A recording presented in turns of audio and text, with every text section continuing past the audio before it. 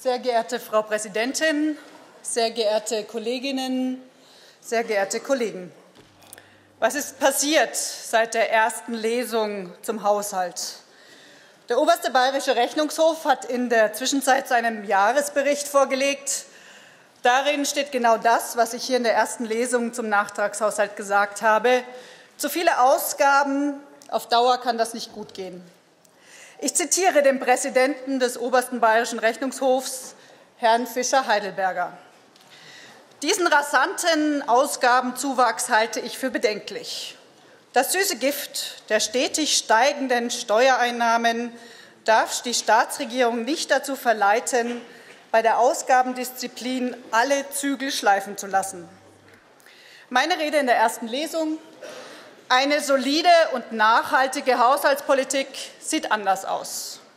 Ziel muss es sein, dass Ausgaben und Einnahmen deckungsgleich sind, gerade in diesen wirtschaftlich florierenden Zeiten. Was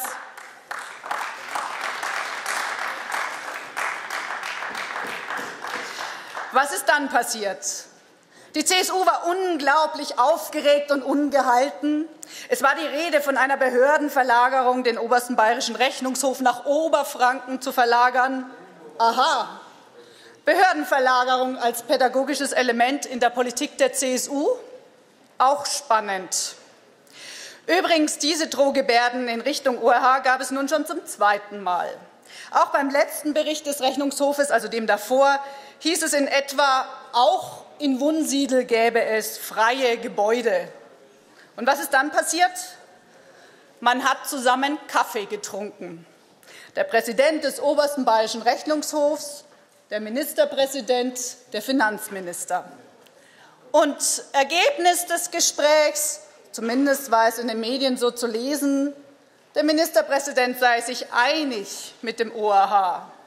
Also ja, der bayerische Rechnungshof hat recht und so könnte es nicht weitergehen, laut Ministerpräsident Seehofer. Die Ausgaben steigen zu extrem an. Man muss schon erwähnen, dass das ganz erstaunlich ist, dass jetzt plötzlich zu diesem Punkt dem ORH-Recht gegeben wird. Kleiner Einschub an dieser Stelle. Schon in der Regierungserklärung vom November, Herr Ministerpräsident, da hieß es schon mal, ab sofort werden die Ausgaben gedrosselt und es war da eigentlich schon Ausgabedisziplin verordnet. Oder noch mal anders gesagt, gestern habe ich auch gelesen, haben Sie für die Zukunft Mäßigung und solides Haushalten versprochen und heute wollen Sie hier Rekordausgaben ohne Ende beschließen.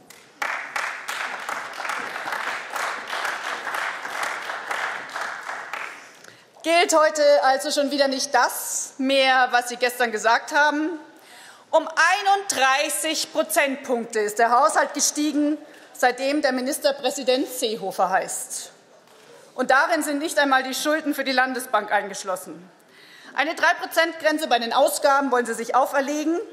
Doch 3 Prozent ist nicht mäßig oder solide und schon gar nicht, wenn man eben die 31 Prozentpunkte gestiegenen Ausgaben noch mit reinrechnet. Wenn die Ausgaben 2015 und in den darauffolgenden Jahren um 3 Prozent steigen, dann sind das knapp 1,5 Milliarden Euro mehr. Und gleichzeitig sollen aber die Steuermehreinnahmen 2015 um 503 Millionen Euro, das ist das ganz offizielle Schreiben wieder vom Finanzminister, und 2016 nur um knapp 590 Millionen Euro steigen. Da ist also das nächste Defizit schon vorprogrammiert. Die Steuereinnahmen lassen nur ein Wachstum von ca. 1 Prozent zu. Ich wiederhole, Wachstum von 3 Prozent in den Ausgaben bedeutet 1,5 Milliarden Euro mehr. Und bei den Steuermehreinnahmen stehen aber nur gut 500 Millionen und knapp 600 Millionen dem entgegen. Das heißt, das Defizit ist vorprogrammiert.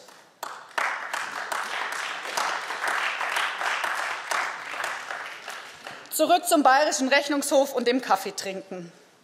Ja, der Bayerische Rechnungshof hat recht, sagte der Ministerpräsident öffentlich. Oder sollte damit eher der Finanzminister Söder wieder etwas in die Schranken gewiesen werden? Das alte Spiel, hier wird jemand öffentlich gestutzt, damit in der Nachfolgedebatte niemand zu groß wird. Allerdings, dass es ein Weiter so nicht geben kann, das ist offenbar wirklich auch dem Finanzminister klar. Ich zitiere aus einem internen Aufstellungsschreiben der Staatsregierung für den Doppelhaushalt 2015-2016. Die Steigerungsraten des Staatshaushaltes der letzten Jahre liegen über der Preissteigerungsrate, und zwar massiv. Da gibt es ganz schöne Grafiken in diesem internen Schreiben, da sieht man das nochmal richtig. Ich zitiere weiter. Wir dürfen nicht davon ausgehen, dass derartige Ausgabenzuwächse auf Dauer dargestellt werden können. Daher müssen wir sparsam und überlegt wirtschaften. Ist es vielleicht einfach nur der Ausdruck dessen, dass demnächst keine Wahlen anstehen und deswegen hier so solche Worte? Ja, also mit dem Geständnis, dass man jetzt nur noch in Anführungszeichen drei Prozent ausgeben möchte, das ist genau das Geständnis, alle Wahlen sind vorbei, ich muss keine Wahlgeschenke mehr machen und deswegen könnte man jetzt theoretisch Ausgabendisziplin machen. Nichtsdestotrotz, allein mir fehlt der Glaube, weil es wäre eine ganz neue Politik, eine ganz neue Haushaltspolitik und man müsste das machen, was Haushaltspolitik eigentlich verlangt, nämlich Prioritäten setzen und umschichten auch mal unpopuläre Entscheidungen treffen. Und das sind die Prinzipien, nach denen wir unsere Haushaltspolitik gestalten. Prioritäten setzen und umschichten.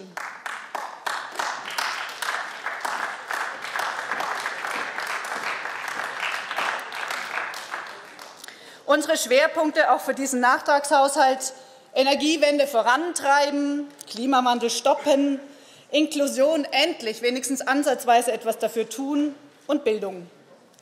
Und wenn Sie, liebe Staatsregierung, endlich Ihre Politik an diesen Prinzipien ausrichten würden, dann würde das auch bedeuten, sich eben nicht die Gunst der Wählerinnen und Wähler immer nur erkaufen zu können oder die Gunst der eigenen Leute im Wettkampf um die Nachfolge des Ministerpräsidenten.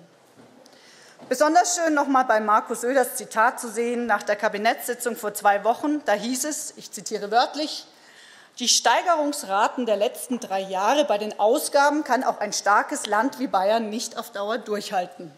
Ziel ist, die erfolgreiche Haushaltspolitik des Freistaats fortzusetzen. Also, Markus Söder will die Haushaltspolitik fortsetzen, obwohl sie nicht durchzuhalten ist. Interessant. Das ist nicht nur ein semantisches Problem, sondern auch in der Praxis. Sehr geehrte Kollegen und Kolleginnen, das, was in der Regierungserklärung vom Ministerpräsident Seehofer erklärt wurde, sind alles ja ganz schöne Ziele. Doch wenn man es ein bisschen ernst meinen würde, dann wüsste man, wie viel es kostet, sie umzusetzen und vor allem, wie man die Umsetzung dieser Ziele finanzieren will und kann.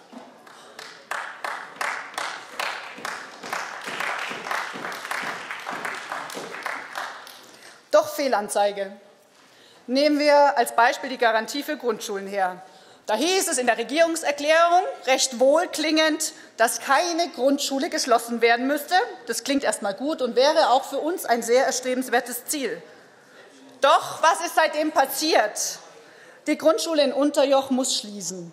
Ja, nicht selbstständige Grundschulen waren angeblich nie gemeint, hieß es aber nicht in der Regierungserklärung. Das ist erst im Nachhinein erklärt worden. Doch auch wie und mit welchem Konzept selbstständige Grundschulen Bestandsgarantie haben, da sind Sie uns, da sind Sie hier im Landtag und aber auch den Wählerinnen und Wählern eine Antwort schuldig geblieben bislang, Herr Ministerpräsident. Und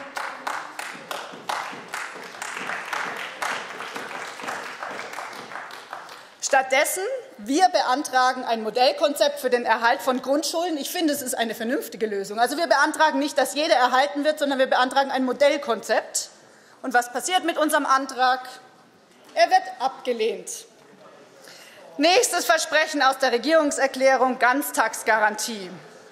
Also ganz abgesehen, dass dieses Versprechen nicht im Haushalt abgebildet ist. Und das Versprechen war ja aus dem November.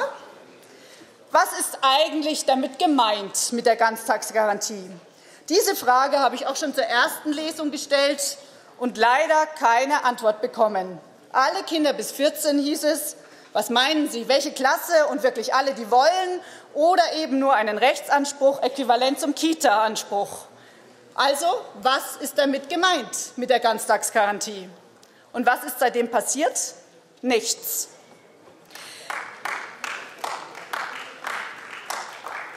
Nächstes Versprechen aus der Regierungserklärung Bayern barrierefrei 2023. Wie und wann soll das finanziert werden? Bayern barrierefrei 2023. Ist das jetzt das neue Schlagwort nach Bayern schuldenfrei bis 2030? Wieder mal so ein Motto ohne Plan, ohne irgendwie hier Geld reinzustecken.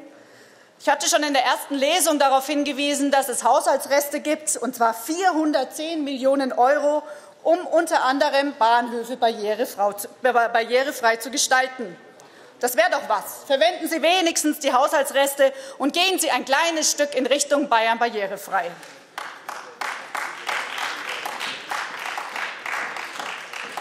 Ebenso habe ich in der ersten Lesung mir und Ihnen die Frage gestellt, mit wie viel Geld die CSU-Fraktion die Kürzung der Staatsregierung bei der klassischen Behindertenhilfe ausgleicht.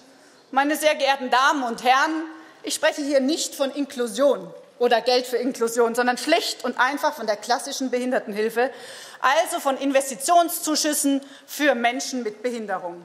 Und eigentlich wissen wir alle, alle, heutzutage aufgrund der medizinischen Fortschritte, Gott sei Dank, werden Menschen mit Behinderung älter. Was heißt es aber? Man bräuchte eigentlich mehr Geld für Menschen mit Behinderung, denn da steigen die Ausgaben. Und da heißt es noch einmal, um ganz klar zu sagen, wir brauchen eben mehr Geld für die Menschen mit Behinderung und die Infrastruktur. Aber was passiert hier mit diesem Nachtragshaushalt?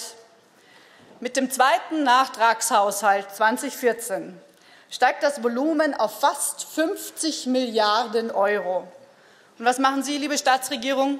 Sehr geehrte Frau Sozialministerin Müller, Sie lassen tatsächlich eine Kürzung bei der klassischen Behindertenhilfe von 3 Millionen, 3,5 Millionen Euro zu. Die CSU-Fraktion mildert die Kürzung zwar ab, aber im Vergleich zum letzten Doppelhaushalt zu 2011 und 2012 fehlen immer noch 1,5 Millionen Euro. Da kann ein Ministerpräsident noch so sehr in seiner Regierungserklärung vom Ziel Bayern barrierefrei 2023 reden, wenn hierfür kein Geld in den Haushalt eingestellt wird, wenn dann sogar noch gekürzt wird in der klassischen Behindertenhilfe. Und genau deswegen stellen wir unsere beiden Anträge die lediglich die Kürzung zurücknehmen, nicht mehr Geld fordern, sondern einfach die Kürzung, die die Staatsregierung eingestellt hat und die CSU-Fraktion nicht ausgeglichen hat, zurücknimmt, die stellen wir heute namentlich zur Abstimmung.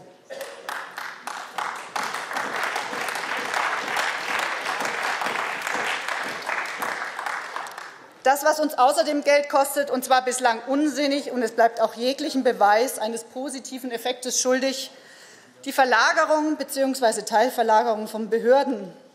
Mit diesem Nachtragshaushalt hätten wir noch mal die Chance gehabt, eine Ausgabe stoppen zu können, die den Steuerzahlern und Steuerzahlerinnen 20 Millionen Euro kostet. Die unsinnige Verlagerung der Bewertungsstelle des Finanzamtes München nach Höchstädt. Außerdem würde da ja auch noch groß angekündigter Bayernplan und weitere Behördenverlagerungen angedroht angedroht. Anders kann man das nicht sagen, weil es bisher nie effektiv war und einfach viel Geld gekostet hat, auch schon vom obersten bayerischen Rechnungshof bemängelt. Strukturpolitik auf Kosten der Verwaltung, der Menschen in der Verwaltung und auf Kosten von Synergieeffekten in der Verwaltung ein Armutszeugnis. Mit diesem Nachtragshaushalt wird zum ersten Mal der andere, der neue Ressortzuschnitt abgebildet. Was ist passiert? Ein Finanzminister bekommt einen beträchtlichen Teil, wo es darum geht, eben Geld auszugeben. Also der neue Heimatminister. Und ich werde das jetzt im Gegensatz zur ersten Lesung nicht weiter ausführen, wie der Heimatminister den Finanzminister darum bittet, im Haushaltsvollzug Ausgaben zu genehmigen und sich dann über die genehmigten Ausgaben durch den Finanzminister Söder, der Bezirkschef oder der Ich möchte gern Ministerpräsident werden, Söder freut.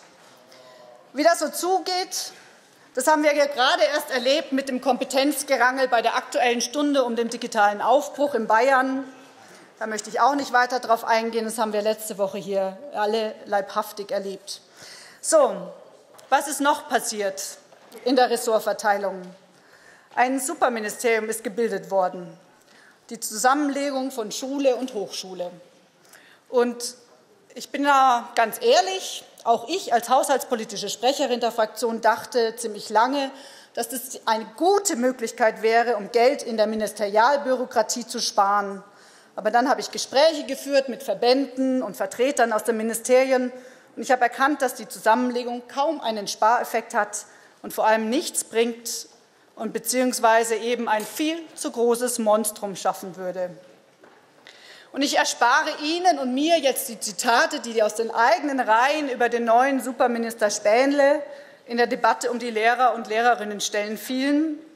Aber die würden sehr wohl sehr deutlich machen, dass man nicht zufrieden ist mit der Führung dieses Amtes.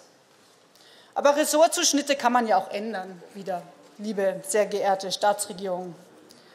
Und dann gibt es ein paar kleinere Zuschnitte, wie zum Beispiel, ich finde die sinnvolle Verlagerung der Schiene ins Innenministerium zur Straße. Vielleicht erkennt man dann endlich, dass die Schiene etwas mehr Bedeutung bräuchte. Und dann gibt es da noch das angeblich eben andere Superministerium, das der Wirtschaft. Und weil da große Teile rausgenommen wurden, wie die Schiene und das Landesentwicklungsprogramm, deswegen gibt es dann da jetzt auch zwei Amtschefs. So macht man es, wenn man auf der Personalseite einsparen will. Man nimmt Bereiche aus einem Ministerium heraus und dafür gibt es zwei B9-Stellen. Für all diese Ausgaben, für all die Versprechen, die der Ministerpräsident hier und sonst wo macht, braucht man, brauchen wir Einnahmen. In dem internen Aufstellungsschreiben zum nächsten Doppelhaushalt, da steht so lapidar drin, alle Möglichkeiten, Einnahmeansätze zu erhöhen, sind weiterhin konsequent auszuschöpfen. Im Hinblick auf die Politik und was bisher passiert ist in Bayern, ist das zwar ein Widerspruch in sich, ich komme gleich darauf zu sprechen, aber es wäre ein leichtes für den Freistaat. Jahr um Jahr bemängelt der oberste bayerische Rechnungshof, die Finanzverwaltung ist unterbesetzt, und zwar massiv. Und vor einigen Jahrzehnten hat es hier an der gleichen Stelle meine Vorvorgängerin Emma Kellner bemängelt. Und wie gesagt, selbst in den eigenen Reihen heißt es mal mehr oder weniger offiziell, die Unterbesetzung der Finanzverwaltung sei Absicht, weil man damit Betriebe und reiche Menschen nach Bayern locken möchte. Doch gerecht geht anders. Und vor allem brauchen wir diese Einnahmen eben, um das, was Sie sich oder das, was wir uns vorgenommen haben, in den nächsten Jahren zu finanzieren. Bisher habe ich darüber gesprochen, was wir mindestens einmal im Halbjahrestakt hier im Landtag diskutieren, beim Bericht des obersten bayerischen Rechnungshofes und bei den Haushaltsberatungen. Sie weisen mit Absicht zu wenige Stellen im Bereich der Finanzverwaltung aus. Doch diesmal ist es dann auch noch so. Sie, die Staatsregierung, haben der Steuerverwaltung versprochen, dann, wenn die Kfz-Steuerbearbeitung zum Bund übergeht, dann kriegt die Steuerverwaltung vollständig diese Stellen. Der Vermerk künftig wegfallen wird gestrichen, analog zu dem, was jetzt zum Glück aufgrund des Druckes durch die Kommunalwahlen bei den Lehrerstellen passiert ist. Und damit werden die Stellen erhalten. Doch was ist passiert? 25 Stellen der für die Finanzverwaltung versprochenen Stellen geht in den Kopf mal wieder, nämlich da, wo man laut eigenen Bekundungen abbauen will. Aber man braucht eine neue Spielwiese für den Finanzminister die Filiale des neu geschaffenen Heimatministeriums in Nürnberg. Und da gehen jetzt mal ebenso 100 Stellen hin, die man eigentlich ganz dringend in der Finanzverwaltung bräuchte. Dann schauen wir uns doch den Bundesländervergleich an. In der Steuerverwaltung belegt Bayern fast immer den letzten Platz. Bei der Betriebsprüfung, bei der Steuerfahndung und dabei will Bayern immer Spitze sein.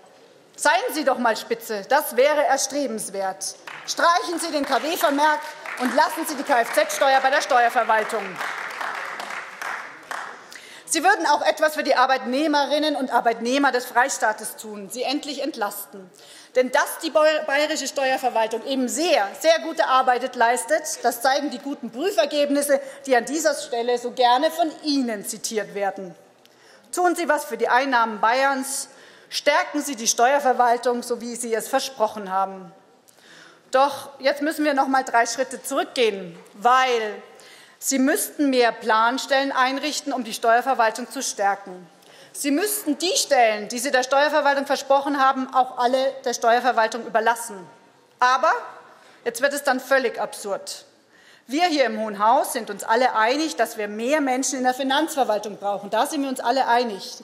Da nehme ich gerne die Aussagen und die Stoßrichtung auch von der Staatsregierung wahr und begrüße diese. Doch was passiert? Es bleiben Stellen unbesetzt. Im Haushaltsplan stehen fast 2000 Stellen mehr als in der Finanzverwaltung tatsächlich besetzt sind. Da frage ich mich schon, wie kann sowas sein? Weigert sich das Finanzministerium etwa, den Haushaltsplan zu vollziehen? Was nützt es denn, wenn der Landtag einen Stellenplan beschließt und die Regierung die Hände in den Schoß legt? Nächster Punkt. Wir brauchen mehr Stellen in der Finanzverwaltung. Da sind wir uns alle einig. So einig, dass Finanzminister Söder sogar behauptet, die Steuerverwaltung habe 2009 fast 1500 zusätzliche Stellen erhalten. Es sind 1500 neue Stellen für Steuerfahnder geschaffen worden. Da frage ich mich schon, wie das gehen soll. Wenn die Zahl der Planstellen in der Finanzverwaltung nur, nur gut 400 gestiegen sind. Angeblich sind 1500 neue Stellen geschaffen worden, aber sie sind nur um 400 Stellen eben angewachsen, die Planstellen. Neue Zahlen und Rechentricks, danke Herr Kollege Halbleib, von Seiten der Staatsregierung, nachdem wir das in der Diskussion um Lehrerstellen schon gewohnt sind, schlagen die Rechentricks jetzt auch noch hier auf. Bei der Höhe der Rücklage kann man allerdings nicht mehr nett von Rechentricks reden. Das ist nichts weiter als eine falsche Darstellung der Tatsachen, Herr Dr. Söder.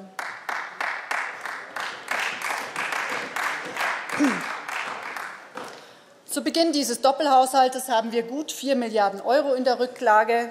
Gut 4 Milliarden Euro. Ende 2014 werden es nach Ihren eigenen Angaben 3 Milliarden Euro sein.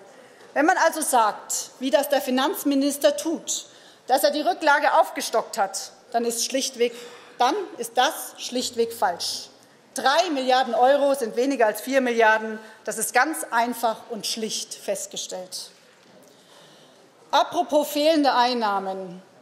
Bei der Landesbank sah es ja mal kurz, ganz zufällig vor der Landtags Landtagswahl so aus, als ob die Landesbank in Zukunft tatsächlich dem Staat wieder eher Geld einbringen als kosten würde. Nun ja mal kurz, eben ganz kurz vor der Landtagswahl. Jetzt ist es so. Die Bayern LB hat im vergangenen Jahr keinen Gewinn gemacht und jetzt darf sie keine Dividende oder Gebühren zahlen. Und um das auszugleichen, zahlt sie aus ihrem Kapitel der stillen Einlage knapp 400 Millionen Euro.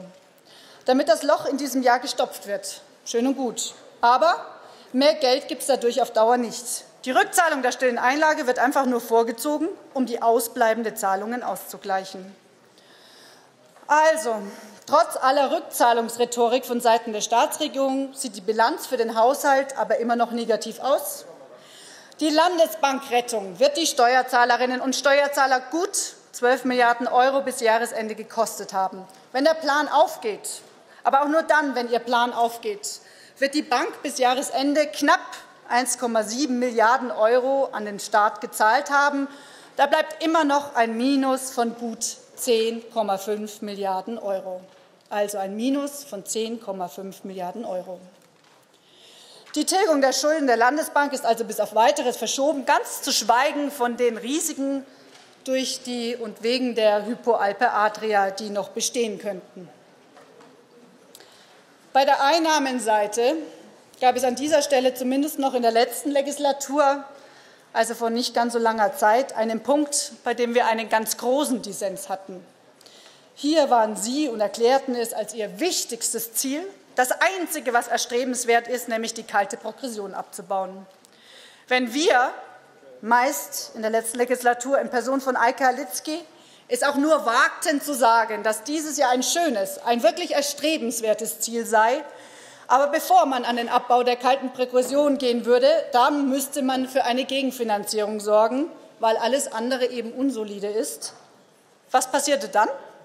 Da war das Geschrei groß auf dieser Seite des Hauses und allen voran Dr. Söder, dass die Grünen dem kleinen Mann wieder nichts von seiner Hände Arbeit gönnten und so weiter und so fort. Was Sie, Herr Dr. Söder und Herr Ministerpräsident, in Bezug auf die kalte Progression gesagt haben, vor der Wahl und nach der Wahl, ist schlicht und einfach Wählertäuschung.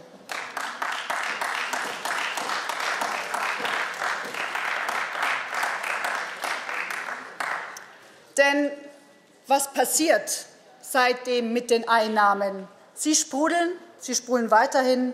Man will es gar nicht wahrhaben, aber es gibt immer mehr Steuermehreinnahmen. Das ist so und deswegen ist es Wählertäuschung. Ganz kurz zum FAG. Auch wir wollen, und das haben wir im letzten Doppelhaushalt beantragt und werden es auch wieder tun, allgemein einen Anteil von auf 50 Prozent vom Allgemeinen Steuerverbund einen Anteil auf 15 Prozent anheben. Das haben wir jetzt im Nachtragshaushalt nicht abgebildet. Wir werden es aber tun. Und wir finden es ganz wichtig, dass der allgemeine Anteil angehoben wird und eben nicht der goldene Zügel hier mal und da mal eine Bezuschussung, sondern wir wollen allgemein, den allgemeinen Steuerverbundanteil anheben. So, was ist passiert seit der ersten Lesung? Sie, die CSU-Fraktion, haben den Haushalt kein bisschen generationengerechter gemacht. Nach wie vor gilt der Grundsatz, egal wie unsolide es ist, Lieber werden die Schulden PR-wirksam getilgt, als dass etwas für die Vorsorge getan wird. Warum unsolide? Schuldentilgung ist geringer als die Rückzahlung der Bayern LB und die ersparten Mittel für die Vorsorge insgesamt. Das belegt, dass das Konzept mit dem neuen Pensionsfonds schon im Eimer ist, bevor es richtig losgeht.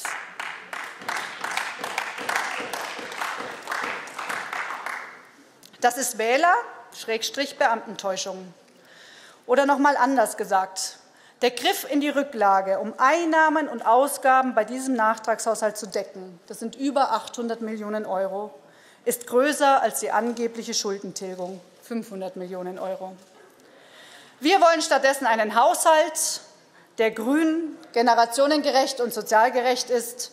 Unsere Schwerpunkte sind mehr Geld für energetische Sanierung, weniger Staatsstraßen, Soziales, im Bereich Soziales, mehr Geld für Schwerbehinderte, Blindengeld, keine Kürzung im Behindertenplan, mehr Geld für die Asylsozialberatung, in der Bildung mehr Geld für Ganztagsschule und Inklusion und alle unsere Anträge sind gegenfinanziert, wie es der Kollege Bachhuber vorher noch einmal bestätigt hat. Vielen Dank auch an dieser Stelle und auch im Ausschuss für die Ehrlichkeit, wenigstens dafür, ich habe es ja vorhin schon in der Zwischenbemerkung gesagt, und im Gegensatz zur CSU sind wir mit unseren Anträgen ohne Mehrausgabe ausgekommen. Dankeschön. Vielen Dank, Frau Kollegin Stamm.